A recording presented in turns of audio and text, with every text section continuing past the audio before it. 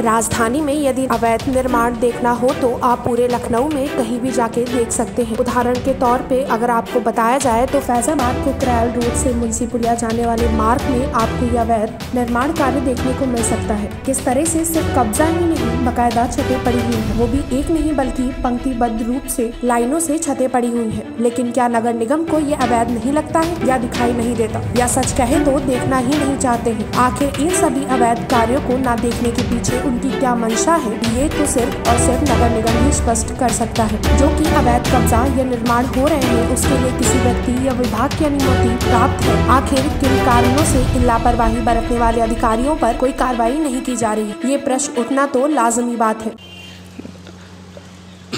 अगर आपने नहीं देखी है काला बाजारी तो गौर फरमाइए इस पर। ये फैज़ाबाद से रोड लगी हुई है, जो कुकरेल बंधा से आती है। और यहाँ पर देखेंगे कि किस तरीके से इस पर छत डला रखी है और निर्माण करा रखा है।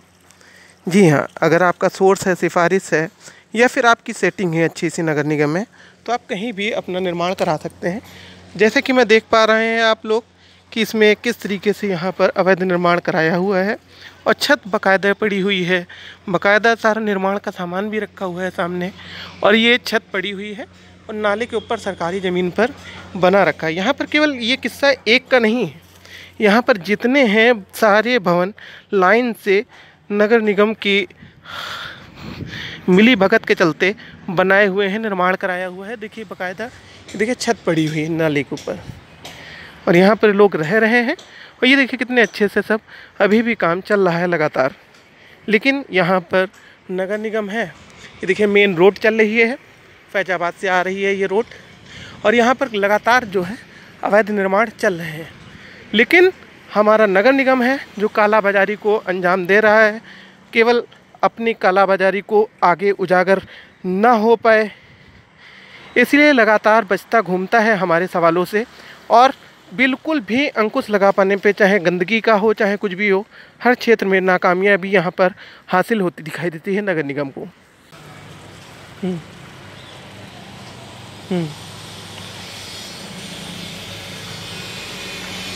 कि किस तरीके से नाले पर अवैध कब्जा करके सरकारी ज़मीनों पे ये बनाया जा रहा है?